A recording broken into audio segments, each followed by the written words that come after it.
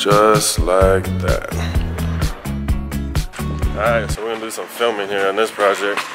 We could put in these box beams. Pre-mold, they're fake styrofoam, dude. Look at that, those actually look pretty. These are so long though. How long? 20 footers. 20 footers, I was about to say.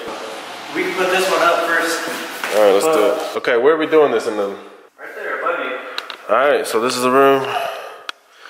This room's getting four beams across the ceiling. So first thing first, we're measuring out this. All right, there goes nothing. Exactly.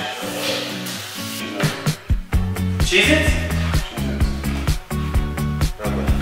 All right, crazy thing about carpentry, right? If you can do the math part, if you can't do math, you're screwed. We might be screwed. We're using the fancy stuff today. Oh, it's a wall stud finder, yeah. Look at it. What? You have a TGI What does that mean? ceiling joist, but it's over here. That sucks. So we're trying to find what beams out there? No, just Two by fours, screwing. there's blocking right there, Blocky right there. Block right there. blocking right there. Okay, so what we're doing, we're gonna cut this up in little pieces, and we're gonna screw them to the two by fours up in the ceiling in a straight line. Or we could do long pieces. So Derek, Derek did the math, and we put chalk line. That's the money maker right there. Chalk line. That is hard. It was not easy. So we're, I'm about to go cut blocks of two by six, and then we're gonna butt them up to that, that chalk line there. So next here, got the miter saw set up. I'm about to put my two by sixes on the ground. I'm gonna set them up here. my.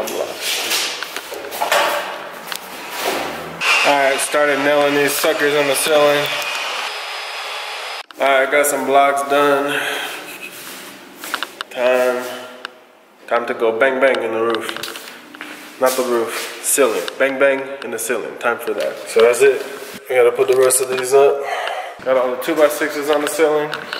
Okay, so you see how like this one, we just did it because we didn't have enough contact points. But right here where you section it all off, two by sixes are not straight at all.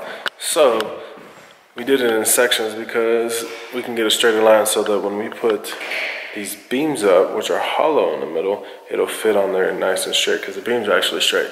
Two by sixes, not straight. So we section them off. It just makes it easier in our job. So this has got a whole lot crazier. So, made a little room in here. So, we had trouble. When we put the beam up, made it up with the fireplace rock, it's too big of a gap. It's too big of a gap. We tried scribing the beam to make it kind of flush, but when you look from the side, it don't look good. And it's the gap's just too big. We tried scribing, but we ain't that good. Plan B. Can you see that pencil? Yeah, that that's square. We're gonna grind out the rock. We're gonna cut down the line all the way around, take the rock out, then we're gonna slide the beam in there so it looks flush, looks good. Cleanup on this is gonna be crazy. Derek's in there. So we had to take some bricks out of the fireplace. It's not going as smooth as we hoped. So I'm gonna stick the beams in there. Then we're gonna have to piece the, the rock back into the fireplace. So those two will be easy. Now time to install the beams. Okay, so this is number one install. I guess next one we'll do, we'll film the next one. But that's what it's supposed to look like installed. Pretty, right?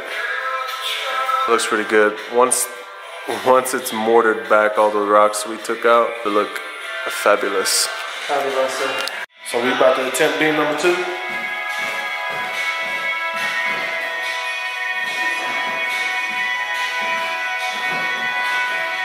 So we got two up. We're gonna go for this third one right here. That one. That one's about to go up shortly. Alright, so all said and done, this is what it looks like. Some nice cut, square cut, in the corner beams. Looks good though, right? Beautiful. Just like that. Accents. The, the family room right there, pretty nice. Good to go. Once it's all done, it's fun looking. Look how fun that looks. Yeah, looks fun. Looks so much fun. Any last words? Last words. Never again.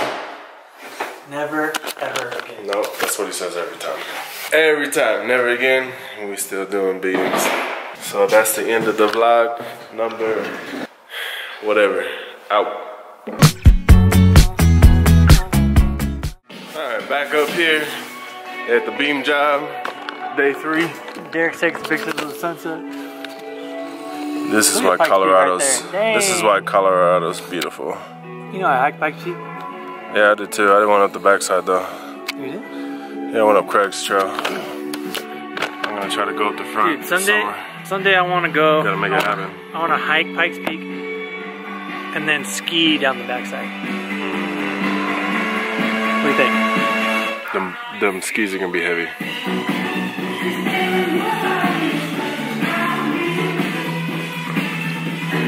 That's what.